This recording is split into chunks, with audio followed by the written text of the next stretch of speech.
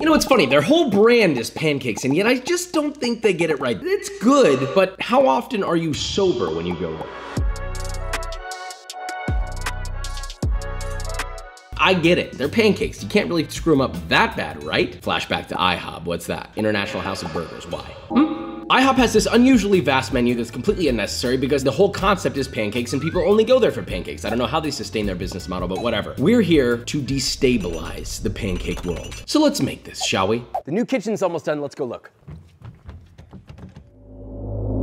What do you think you're doing? I can't show you that, but I can show you this. Texture over taste, available for pre-order now. Link is in the description. This is about texture, the other half of the story of making great food. Link in the description. All right, now I gotta call IHOP. We're on the way. How may I help you? I'll do a short stack of regular, and then I'll do a short stack of the blueberry pancakes. Anything else? Yes, one last thing, just an order of the Cinn-A-Stack pancakes. All right, see you then. Be safe. Bye-bye. You almost said to you too. IHOP, you do have to be safe. You know, I've seen some pretty crazy fights break out there. We're here at the, oh my God, International House of Pancake. The side of the building gets a one out of 10, but the front of the building, due to its iconic nature, gets a 10 out of 10. I mean, I remember seeing that sign when I was a kid and I was like, whoa, there it is. Wait, since when did they start doing that modern art what is that? I do kind of want to come back here just for nostalgia's sake, early in the morning or like really late at night. Someone wants to eat IHOP. No, I don't, I swear. Hi, oh, I have an order for pickup. Yeah, I'm turning this into a 10 out of 10 all around. Same lady that was on the phone, super nice, and she shit on the pancakes. This is gonna be the best But Better ever. I tipped her well. All right, I'm rating the menu also. Too long,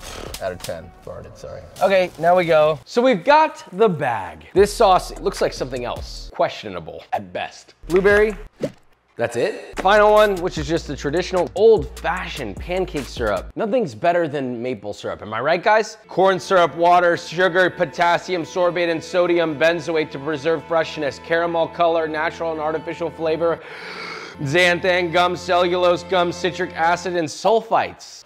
Smells like a toy factory. Let's begin. This is just way too many pancakes.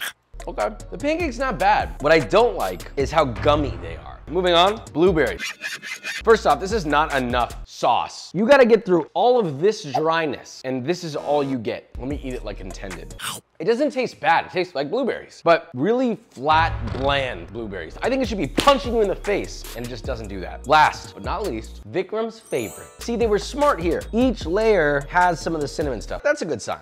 Okay, this one I actually like, believe it or not. That being said, all I taste is cinnamon. There's no depth, there's no butter, and whatever this cinnamon sauce is, it just needs more. It just feels like there's something missing. I don't know what it is. So we're gonna find it. We have the three dominating pancakes for IHOP here, or at least according to the random internet sources. Traditional buttermilk, double blueberry, and the Cinn-A-Stack. First we begin with traditional buttermilk, which we're gonna be using the exact same batter for all three, so this is probably the right place to start. You gotta love it when it's easy. Come on. First rule, don't just worry about over mixing your pancakes. You should also not overthink your pancakes. It's almost symbolic. Sometimes we wanna control everything in our lives instead of just understanding that it's okay to just do things that make you happy. So get a large bowl, add 2 cups or 300 grams of all-purpose flour, a quarter cup or 62 grams of granulated sugar, a quarter teaspoon or 1 gram of baking soda, 1 tablespoon or 12 grams of baking powder, 1 teaspoon or 4 grams of fine sea salt, whisk that together until combined and try not to breathe due to the dry pancake mix wafting in the air. Then add 1 cup or 240 milliliters of buttermilk, half a cup or 120 milliliters of whole milk, 1 whole egg plus 1 egg yolk, 2 tablespoons or 21 grams of vegetable oil. Whisk that all together until combined and homogeneous. And optionally, you can whisk in 1 teaspoon or 4 grams of vanilla extract, but that's only if you want a little extra pop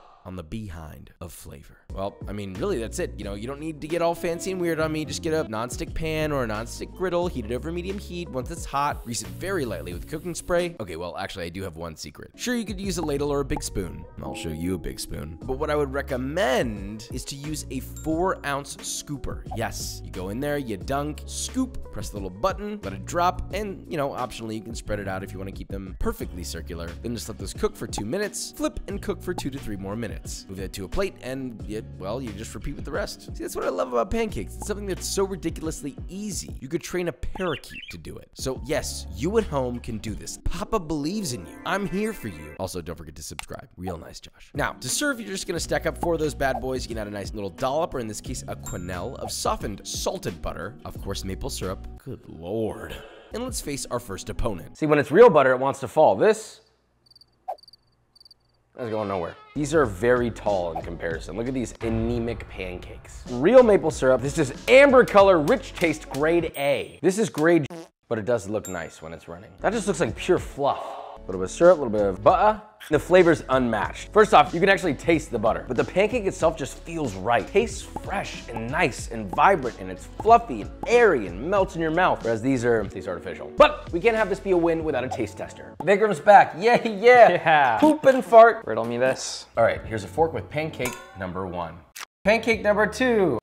Number two, definitely the winner. One of these pancakes equals like three of these pancakes. I already feel like I ate a whole stack. These are fluffy, super layered, butter, syrup, fluff. There's nothing not to like. All right, on to the next. Okay, sure, you could say we won by beating their basic pancake, but it doesn't end there, okay? There is no win without discussing the toppings that make it really special. So, blueberry. We're keeping the batter the exact same as I said before. The only difference is when you make your batter for this one, you could just fold it and have a cup or 95 grams of more fresh blueberries. That's it. Then you just scoop your batter, do your thing 21, and your pancakes will be fully done once you've cooked all your batter. But what about the blueberry sauce? I'll be honest, it was a challenge figuring this out for some reason. I couldn't figure out if the blueberries were dried or fresh. Couldn't tell if they were out at the beginning or not, because, well, they wouldn't be so perfectly round. So here's what I did. Medium sauce pot. Add 2 cups or 190 grams of fresh blueberries, 1 cup or 200 grams of granulated white sugar, 3 tablespoons or 55 grams of lemon juice, a quarter cup or 60 milliliters of maple syrup, half a cup or 120 milliliters of water, and finally 1 tablespoon or 17 grams of light corn syrup. You know, so we get that nice cohesive mirror-like gloss. It's a little uh, back pocket secret right there, by the way, with the corn syrup. Set that over medium-high, bring to a boil, and reduce for about 6 to 8 minutes or until extra thickened and syrupy. You really want it to coat the back of a spoon. The more it clings, the thicker it looks, the better. Now pass that through a fine mesh strainer to get it extra glossy and fold in an extra half cup or 95 grams of fresh blueberries. And well, I gotta say, it looks like the dang thing. It looks correct. Hopefully it tastes correct. Now, you serve these pancakes as before. You stack them up, give them a generous, beautiful topping of your blueberry sauce. So deeply dark blue with a mirror finish almost as beautiful as the metallic specialty paint of a Lamborghini in only the finest of boutique lighting. Of course, feel free to add a quenelle or dollop of whipped cream if you so desire, which is made by simply adding one cup or 240 milliliters of heavy cream to a medium-sized bowl. Whisk that aggressively until it begins to thicken, then add two tablespoons or 14 grams of powdered sugar. Continue whisking until you get a nice soft peak, and optionally you can fold in Mm. one full tablespoon or 15 grams of creme fraiche. That's a fun whipped cream right there. Now we fight our next opponent. All right, a little bit of whipped cream, a little bit of berry.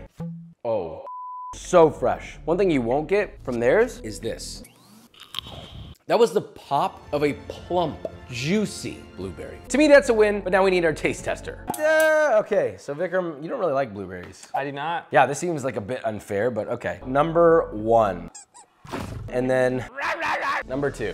Best person for this one. First of all, the first one was better by a landslide. It literally punched me in the face with flavor. It's fruity, as to be expected, but I really like the cream mixed with the berries, mixed with the fluffiness of the pancake. This one just fell flat. I'd eat more of this, and I don't even like blueberries. That's how good it was. Last one is Vikram's favorite. Bring it on. Okay, so we got two out of three, but this wouldn't be a but better without a three for three. Now, last but far from least is the only pancake that I actually liked, so I'm slightly nervous. One of the most popular and inappropriately memed pancake in the restaurant world, Cinn-A-Stack. This one should be easy, right? First up, the sauce that I passed out five times making. If you don't get the joke, just move along, please. Anyway, add in four ounces or 115 grams of softened cream cheese to a medium-sized bowl, beat with an electric mixer until creamy, and then add three quarters of a cup or 90 grams of powdered sugar in two batches, beating them in fully before adding the remainder. Trust me, all right? You don't want a big mess in your kitchen, then you're gonna be like, Josh, what happened? Then be like, ah, I'm really sorry. I should have told you, and so I'm telling you now. It's because I love you. Once that's smooth and combined, beat in two tablespoons or 35 grams of whole milk. You can always add a little more if you need to. You just want it to be a drizzleable consistency without it being water. You know, kind of like this. Finally, beating the beans from one can of black beans. Kidding. From one vanilla bean pod. Once it's thoroughly distributed, it's done. Now moving on to the most important and slightly mysterious cinnamon spread, which who knows how theirs is made, but let's be honest, we're gonna figure it out. In a pan, add one cup or 225 grams of light brown sugar, one tablespoon or 14 grams of muscovado sugar, half a cup or 120 milliliters of water, then set that to medium. Once the sugar is completely dissolved, add in half a cup or 120 milliliters milliliters of maple syrup. Then at this point, you're gonna bring it to a boil over medium high until it reaches 230 degrees Fahrenheit. Now, once it reaches that temperature, turn off the heat, then whisk in two and a half tablespoons or 17 grams of ground cinnamon. Yes, it's gonna resist wanting to get mixed in. You'll be like, oh my god, Josh is not mixed. Just look, trust me, just keep mixing. And once that is, for the most part, combined, you will then whisk in a third cup or 84 grams of cold, unsalted butter until homogenized, until fully melted and emulsified. Then finally add in one teaspoon or seven grams of fine sea salt. Yes, it's gonna be a little bit salty sweet, you know, think cinnamon roll vibes, right? Once that's all combined, you're gonna let that cool until you get a nice, almost jammy, salty cinnamon butter spread. Now we assemble, which I did like this. One pancake down, spread on your warmed up sauce. Next pancake, more sauce, spread. Your third pancake, you guessed it, spread. And four, well, wait a minute, this time, yeah, kidding. More cinnamon spread, okay? This stuff is insane how good it is. You will not regret putting it on that thing. Let me tell you what, all right? You can put that on anything, all right? I just don't need to know everything you're uh, putting it on. Finally, drizzle the top generously with your vanilla frosting in a spiral shape if you want to avoid it looking like something that people are going to make jokes about on the internet and say things that are inappropriate, okay? But now we face our toughest opponent yet. This is the ultimate deciding winner if we fully beat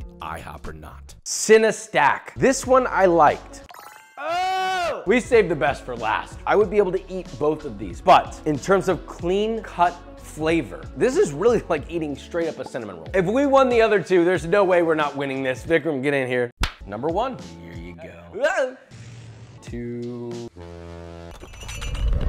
That's incredible. That's definitely the winner. Here's the difference. This one, you kind of know what to expect. This one is literally a cinnamon roll. You don't get the crispiness on the outside of a cinnamon roll, but just Yeah. the gooey part of a cinnamon roll you get with this and all the same flavors. Yeah, if you want a goo, or wait, no.